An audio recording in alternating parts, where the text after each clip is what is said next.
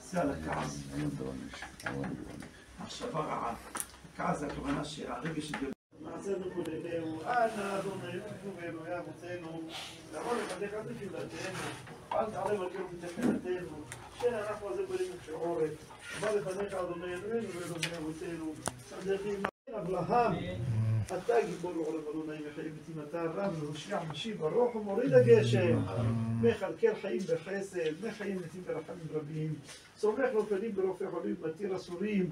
הוא אמונתו לישני עפר מחמוך בעד גבולות ופגמנו בעולם יצירה והבק דכלות ופרטות הביע שם לוחות דנן אחי לכל פסוק ספירה דפרטי הביע והורדנו אותם מחב"ד מכל עולם שלמטה מהם.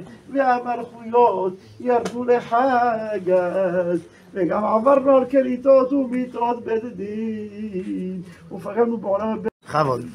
מי שברך אבותינו על אנשים אברהם, ויעקב, הוא יתברך, יברך את כל הקהל שהשתתפו בתיקון, שהשם יתברך ייתן לכם חוכמה, בינה ודעת מוחין לגדלות בתורה הקדושה, מיראת הרוממות, ואהבת הרוממות, ואהבת התורה הקדושה, ואהבת עם ישראל, ותיקון המידות, ותזכו לצאת אה, לגמרי מטומאת החומר וזוהמת. הנחש, ולעולם בגדיכם יהיו לבנים, ויקרא על כל אחד. אמן, אמן.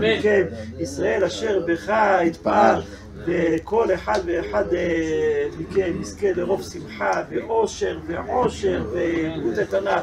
לו ולמשפחה שלו ובכל אשר יפנה ישכיל ויזכה לעבוד את הבורית בך במחשבה, דיבור ומעשה כל יום, כל היום.